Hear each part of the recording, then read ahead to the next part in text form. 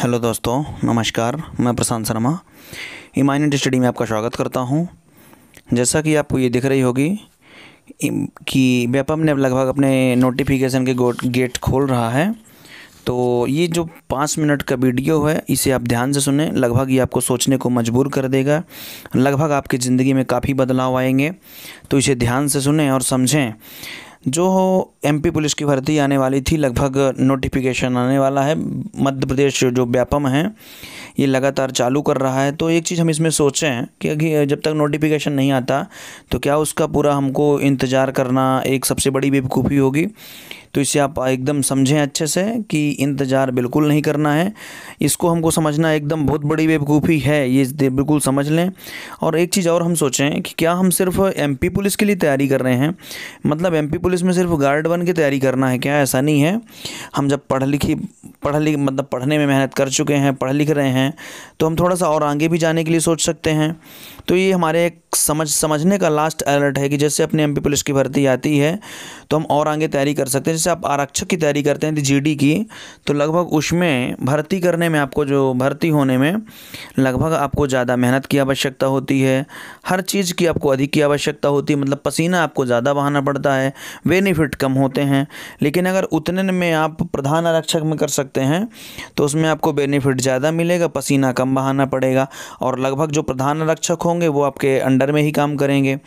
तो इसलिए थोड़ा सा इस चीज़ को समझें, और ये मान के चलें कि क्या हम सिर्फ़ आरक्षक बन के जीडी के लिए सिर्फ़ नौकरी करने का प्रयास कर रहे हैं, ऐसा ना हो। हम तैयारी करेंगे थोड़ा सा इसके बारे में और आगे चर्चा करते हैं हम। तो देखें जैसे ये आ रहा है, अपना पद नाम है और ये दौड़ है सॉरी जैसे आरक्षक के लिए हम देखते हैं जेडी के लिए तो हमको दौड़ने के लिए सोचिए, सिर्फ़ दो मिनट पैंतालीस सेकंड में हमको आठ सौ मीटर की दौड़ दौड़नी होती है। वही दौड़ की यदि हम बात करें प्रधान आरक्षक की तो उसमें हमको चार मिनट मिलते हैं। दौड़ उतनी है अब देखिए यहाँ पे पसीना हमको कम बहाना पड़ रहा है। बेनिफिट हमको ज़्यादा होंगे। गोले फेंक, गोला फेंक की यदि बात करें तो वो जीडी के लिए हमको उन्नीस फीट फेंकना पड़ता है तो प्रधान आरक्षक के लिए हमको पंद्रह फीट फेंकना पड़ता है। देखिए कितना बड़ा डिफरेंस है। उसमें दो मिनट पैंतालीस सेकंड में हमको आठ सौ मीटर दौड़ना है। तो जो अपनी आरक्षक की भर्ती है, उसमें हमको चार मिनट में आठ सौ मीटर दौड़ना है। देखिए कितना डिफरेंस आ रहा है।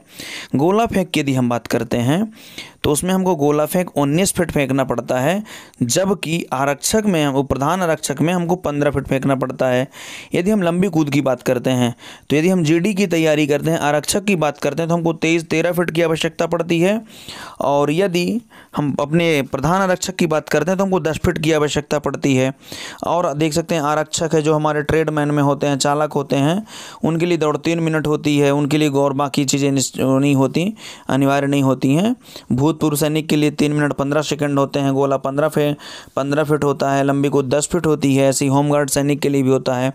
पंद्रह तीन मिनट पंद्रह सेकंड, गोला सत्रह फिट फेंकना होता है, बारह फिट होता है। तो ऐसा हम सोच सकते हैं कि क्या हमको सिर्फ़ जीडी चाहिए आरक्षक क्या हम उसके आगे नहीं सोच सकते हैं? तो जब हमारे पास पर्याप्त समय है, दोस्तों तो हम बिल्कुल फुल उसका उपयोग कर सकते हैं और अच्छी मेहनत कर सकते हैं। तो हम तो ये कहेंगे कि आप आरक्षक के भरोसे मत बैठिए।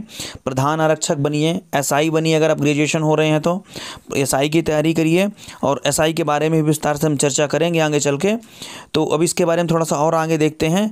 तो जैसे अपना ये देखिए, जो एमपी पुलिस कांस्टेबल है, उसकी परीक्षा निम्नानुसार है और लगभग हमारी प्रधान आरक्षक का भी सिलेबस एकदम सेम है। तो उसमें हम देखते हैं सामान्य ज्ञान जो अपनी आती है, वो तीस नंबर की आती है, तर्क शक्ति अपनी चालीस नंबर की आती है, गणित अपनी बीस नंबर की आती है, विज्ञान अपनी दस नंबर की आती है। ऐसा कुल मिला के हमको सौ नंबर का आता है। तो उसे हम ये देख सकते हैं, जैसे ये चालीस नंबर का हुआ, तीस नंबर का हुआ, बीस नंबर का हुआ, दस नंबर का हुआ तो ये जो साइंस है दस नंबर की, ये थोड़ा सा टफ आती है। टफ ऐसा नहीं है मतलब उसको हमको डीपली अध्ययन करना पड़ता है। एक एक चीज़ बारीकी से अध्ययन करना पड़ता है, हम साइंस में दस में दस कवर कर पाते हैं। और बाकी अब थोड़ा सा अगर मेहनत करना चाहें तो लगभग ये हो सकता है।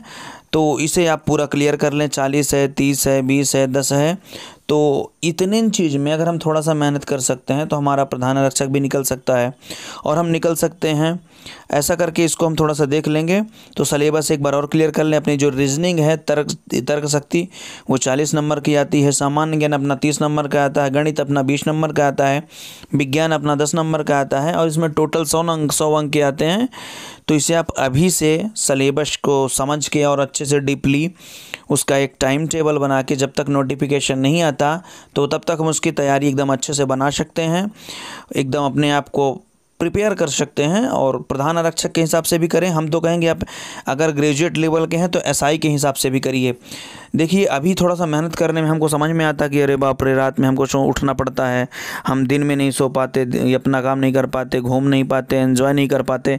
लेकिन दोस्तों, जब हमारे पास वर्दी आ जाती है, कुछ ना कुछ पावर आ जाती है, तब हमको रियल में मज़ा आता है या फिर हमारे जेब हमेशा गर्म होते हैं, तब रियलिटी में हमको ज़िंदगी जीने का मज़ा आता है।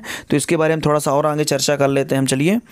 ये देखिए, इसमें थोड़ा सा जो चयन प्रक्रिया सिलेक्शन प्रोसेस है, उसमें सबसे पहले अपना ऑनलाइन एग्ज़ाम होता है, उसके बाद अपना फ़िज़िकल टेस्ट होता है, उसके बाद अपना मेडिकल टेस्ट होता है, इसके आधार पर हमारे कैंडिडेट का चयन होगा। तो ऑनलाइन एग्ज़ाम के बारे में आपको पता ही हुआ है, हम सलेबस बता चुके हैं। उसके बाद फ़िज़िकल टेस्ट में अपना वही है, दौड़ है, गोला फेंक है, लंबी कूद है, ये तीनों चीज़ें हमको कवर करना पड़ता है। मेडिकल टेस्ट में देखते हैं, कोई शारीरिक बीमारी तो नहीं है बड़ी, कहीं पे ज़्यादा गहरी चोट वोट तो नहीं, उसके आधार पर देखते हैं। तो ऐसे इसकी प्रोसेस होती है, इसमें जो हम ग्रेड पे देखते हैं इसका। अब यहाँ पे थोड़ा सा देखेंगे इस करें कि जो आरक्षक संवर्ग है, उसका ग्रेड पे हमको उन्नीस सौ मिलता है। जो आरक्षक का ग्रेड पे है, वो हमको उन्नीस सौ का मिल रहा है। उसके बाद जो हमारा देखिए प्रधान आरक्षक है, वो कंप्यूटर लेवल पे आता है, उसका हमको इक्कीस सौ मिल रहा है।